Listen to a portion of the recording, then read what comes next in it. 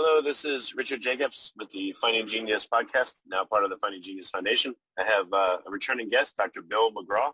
I've spoken to Bill about uh, mercury toxicity, a bit about um, GMO, you know, salmon in particular, about various issues, uh, rife machines that help with uh, various conditions such as cancer, etc.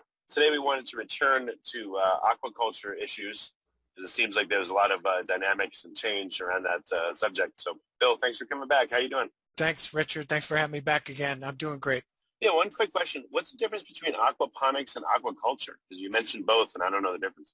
Right. So aquaponics is the combination of fish generally fish and plants in a single system, whereas the fish produce uh, not waste nitrogen and phosphorus and the plants absorb the waste nitrogen and phosphorus.